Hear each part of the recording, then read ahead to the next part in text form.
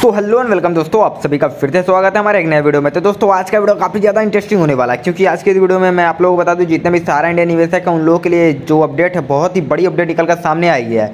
सारा निवेशकों के लिए बड़ी खुशखबरी, दस हज़ार की किस्त में हुई बढ़ोतरी। जी हाँ दोस्तों सारा इंडिया नाम में हर कोई परिचित होगा, जिसमें देश के बहुत से लोगों का पैसा फंस गया। अब सहारा इंडिया में निवेश के लिए एक अच्छी खबर आई है। पिछली बार इसके लिए जो आवेदन मांगे गए थे, वे दस हज़ार रुपये की लिमिट के थे।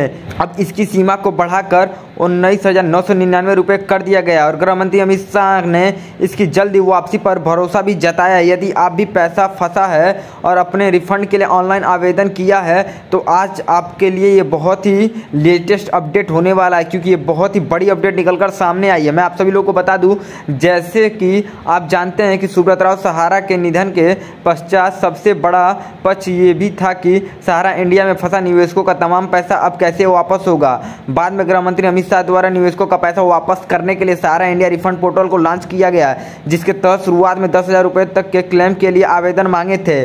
आप सभी निवेशकों के लिए एक अच्छी खबर ये आई है कि गृह मंत्री अमित शाह ने एक पत्र माध्यम से सभी निवेशकों का पैसा जल्द से जल्द वापस करने का कहा है। इसीलिए सहारा इंडिया के अब उन्नीस हज़ार नौ सौ निन्यानवे रुपये तक के आवेदन मांगे हैं ताकि इन आवेदन का पैसा वापस किया जा सके। अमित शाह ने लोगों को आश्वासन दिया है कि जल्द ही उनका सारा पैसा जो है ना वो सहारा इंडिया का जितना भी पैसा आप लोगों का फंसा है वो बहुत ही जल्द आप सभी लोगों को भुगतान कर दिया जाएगा।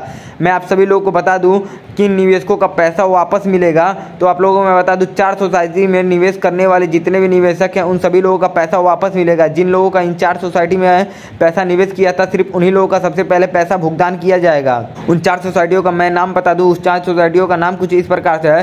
Sahara credit cooperative society limited, Lucknow. Sahara universal multipurpose cooperative society limited, Bhopal. Hamara India credit cooperative society limited, Kolkata. Star multipurpose cooperative society limited Hyderabad. जी हाँ दोस्तों, इन चार सोसाइटियों में जिन लोगों ने निवेश किया सिर्फ़ उन्हीं लोगों का पैसा भुगतान किया जाएगा।